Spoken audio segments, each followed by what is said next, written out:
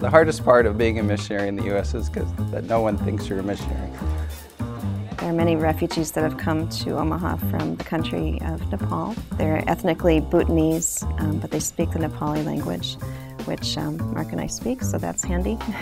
if you can imagine bamboo huts, didn't have running water, didn't have electricity in their homes, uh, for them to come here and then be thrown into an uh, American apartment we sometimes think it will be a, a, glorious change for them, but it's such a different change culturally that it really does take some time for them to adjust. I'm over at the apartments where they live probably three times a week, just helping with whatever it is that they need that day, getting groceries, um, helping to understand the school system. The big challenges for refugees is just adjusting to our way of doing things. They've never been to a supermarket, adjusting to paying bills, they've never had a checking account.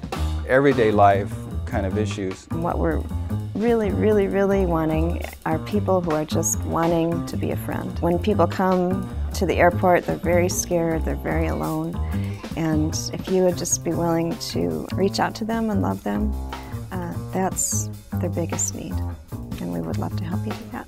If we could get people that would be willing to step out of their comfort zone and visit these families, I believe they'd fall in love with them. I think if you would ask an international, probably their greatest desire would be to have one close American friend. Some, some people, they leave all the relatives in their camp, so they, they feel lonely when, when they came here at the first time. So if you do the close, close relation with them, they are very happy. There in Nepal, we don't need to make the appointment to meet anybody else, you know. they here, we must have to make the appointment and be on time and uh, whatever. I've heard it said that um, Americans are very friendly, but they don't make very good friends. And I think, you know, it sounds harsh, but I think mostly that's just because we're so busy we don't take the time to spend with someone to go into a deeper sort of relationship.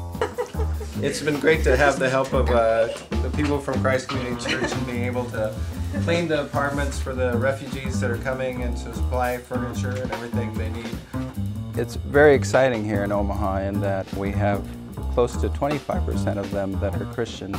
And so we've been able to start a fellowship here and uh, worship God for two hours in the Nepali language. And it's just exciting to see that going. It's, it's a dream for us who have had a heart for the Nepali people for the last 20 years here in Omaha to see a seed started, a seed planted, and a church growing.